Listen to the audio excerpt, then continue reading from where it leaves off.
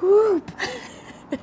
Hi guys, it's Elise here to talk you through a new and exciting upload feature. When you're importing leads into Deal Machine, you can now import leads with phone numbers and email addresses. So any of those lists that you have, you can actually pop all that information in into your CRM so that way it's all there in one place. So how to do that, you're going to go into your leads,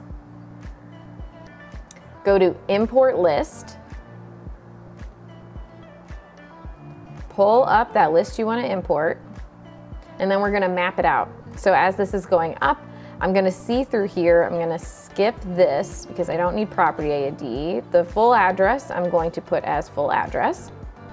And then I'm going to look through here because it is going to say skip, skip, skip, blah, blah, blah. This one I'm not going to skip. I'm going to unskip that and go down and do email addresses and you are gonna need them separated by commas. So then maybe I want the phone numbers, go unskip, and then I'm gonna go phone numbers, okay?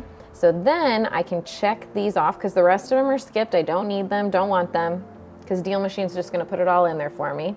And then success, my list has been uploaded and I'll receive a notification through email when it is successfully uploaded.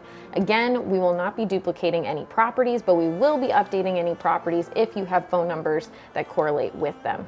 So again, if you have any questions, please let us know, but super excited for this update and make sure you like this video and subscribe and turn on that little notification bell so that way you get to know all the exciting updates with Deal Machine and we can't wait to see you next time.